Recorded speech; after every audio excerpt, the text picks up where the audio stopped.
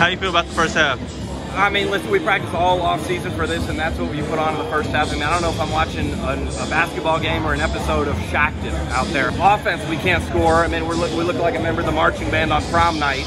Defense is a disaster. I mean, our transition is worse than Caitlyn Jenner. On paper, my team's effective. On paper, I got Moderna. But, I mean, on the court, I got Johnson and Johnson. Defense, we're just completely asleep. I mean, we look like Joe Biden at a press conference out there.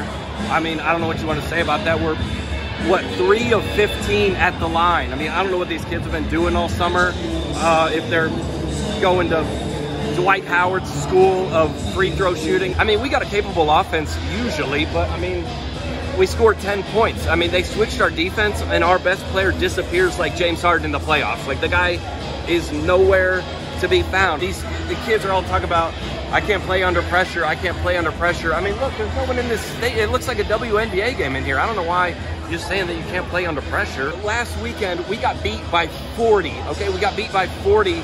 I go into the locker room after talking to the coaches. These kids are making a TikTok dance. It's just like, do they have no pride? Honestly, I have not seen this big of a letdown since Space Jam 2. I mean, and I don't know what you want me to tell these guys in the locker room. I mean, we're already down an assistant coach our ninth grade coach, we got a kid named Brandon, and he jumped up from the bench and yelled, let's go Brandon, and now some of the parents complained about him. So now he can't be at the game tonight because he's in sensitivity training. It's just like, I don't know how you expect me to win with what's going on in this program.